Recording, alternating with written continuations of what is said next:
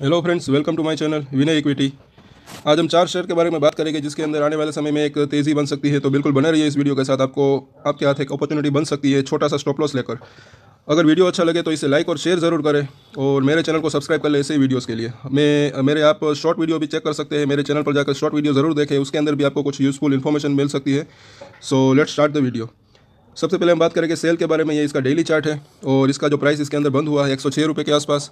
एक इसके अंदर एक तेज़ी का ट्रेंड चल रहा है, ये आप देख सकते हैं। इसका जो नाइन डेज़ का ई जो कि एक सौ के आसपास है, इसी के ऊपर आसपास ये इसकी क्लोजिंग हुई है। इसका पचास दिनों का ई एम एक सौ दो एक दो सौ दिनों का ई एम एक सौ चार रुपये तो मुझे ऐसा लग रहा है कि इसके अंदर एक छोटा सा स्टॉप लॉस लेकर मतलब कि आप हंड्रेड रुपीज़ के आसपास का स्टॉप लॉस लेकर भी इसके अंदर बने रह सकते हैं। अगर बाज़ार के अंदर जैसे कि संभावना है कि एक थोड़ा सा करेक्शन गैप डाउन ओपनिंग होने के बाद एक तेज़ी आए तो इसके अंदर भी एक अच्छा खासा मूवमेंट बन सकता है। ये यहाँ पर जो है तेज़ी का एक चैनल चल रहा है। ये आप ऊपर की और नीचे की ट्रेंड लाइन को देख सकते हैं।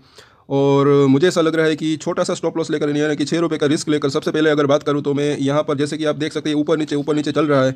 तो अब ये नीचे जाने के बाद जब वापस से ऊपर जाएगा तो ये यहाँ पर आप देख सकते हैं कि एक सौ तक ये आराम से जा सकता है सबसे पहले।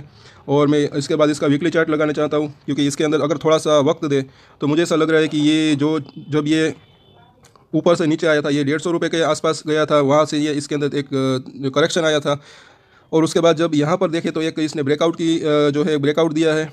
तो अब थोड़ा सा वॉल्यूम के इसके अंदर कमी है लेकिन वो वो भी मुझे ऐसा लग रहा है कि आ जाएगा। तो इसके लिए सबसे बड़ा पड़ाव ये पहला एक सौ तक जा, जाने की इसकी संभावना है क्योंकि ये जब यहाँ पर इसने रजिस्टेंट फेस किया था जब ये नीचे गिरा था इसी लेवल के आसपास और यहाँ से ये एक रजिस्टेंट फेस किया था तो दोबारा यहाँ पर एक रजिस्टेंट फेस कर सकता है। जब ये एक सौ तीस को पार कर जाएगा तब ये एक तक भी जा सकता है आने वाले दिनों के अंदर।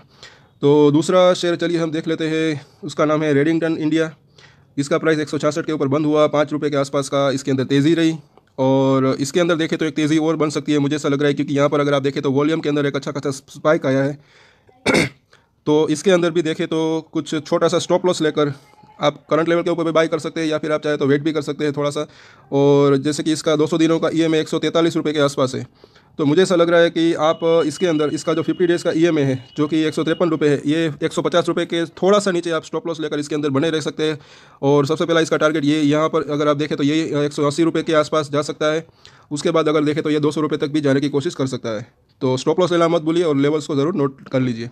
और ये है एनएफएल ये इसका डेली चार्ट है नेशनल फर्टिलाइज़र इसकी जो क्लोजिंग रही फ्राइडे को आ, मतलब कि बुधवार को तो सिक्सटी रुपीज़ के आसपास। इसके अंदर ये इसका डेली चार्ट है और एक बहुत ही बढ़िया बात होती हुई दिख रही है। इसके अंदर एक ये यहाँ पर अगर आप देखें तो एक गोल्डन क्रॉसओवर होता हुआ दिख रहा है। इसका 200 दिनों का ई है। तो इसका जो 50 डेज़ का ई है, वो 200 दिनों को ई को पार करके ऊपर जा रहा है। मतलब कि इसको गोल्डन क्रॉसओवर कहते हैं। और जब ये होता है तो ऐसा माना जाता है टेक्निकल लेवल्स के ऊपर कि इसके, इस ऐसे शेयर में जो है तेज़ी, आने वाले समय में तेज़ी बन सकती है। तो इसके अंदर ये कुछ तेज़ी के संकेत भी दिख रहे हैं। यहाँ पर अगर आप देखें तो एक इसने सिक्सटी रुपीज़ का हाई बनाया था। ये वापस से उसी लेवल के आसपास आ गया है। तो अब इसके अंदर एक, इसको जैसे ही सिक्सटी रुपीज़ को पार करेगा तो इसके अंदर देखें तो काफ़ी अच्छी बढ़िया बढ़त दिखने को मिल सकती है। और यहाँ पर अगर आप देखें तो वॉल्यूम भी अच्छा खासा इंक्रीज़ हुआ है और यहाँ पर अच्छा खासा कंसोलिडेशन भी हुआ है सिक्सटी रुपीज़ के आसपास। तो यहाँ पर भरोसा ज़्यादा बैठता है और ये इसका वीकली चार्ट भी मैंने लगाया है कि ये कहाँ तक, सबसे पहले इसका टारगेट कहाँ तक जा सकता है। तो अगर आप देखें तो ये सत्तर रुपये मतलब कि सेवेंटी थ्री रुपीज़ के आसपास तो आराम से ये चला जाएगा ऐसा लग रहा है, क्योंकि यहाँ पर इसने एक रजिस्टेंट फेस किया था। तो जैसे ये सिक्सटी रुपीज़ को पार करता है, ये सेवेंटी थ्री रुपीज़ के आसपास जाएगा, ये बीस से पच्चीस परसेंट के आसपास की इसके अंदर तेज़ी बन सकती है और ये रिटर्न जो है वो कम नहीं कहलाएँगे शॉर्ट टर्म के लिए। और इसके अंदर अगर देखें तो स्टॉप लॉस क्या ले तो आप फिफ्टी फाइव रुपीज़ के आसपास का स्टॉप लॉस ले सकते हैं। बाकी चलिए हम आगे बढ़ते हैं। लेवल्स को ज़रूर आप नोट कर दीजिए सभी शेयर के अंदर। और ये टेक महिंद्रा का शेयर इसके अंदर एक छोटी सी तेज़ी बन सकती है आने वाले वीक के लिए। ये अभी 1410 के ऊपर इसकी क्लोजिंग हुई है। और पिछले काफ़ी दिनों से यहाँ पर अगर देखें तो साढ़े पंद्रह के आसपास से इसके अंदर एक करेक्शन आया और ये चौदह तक गया है।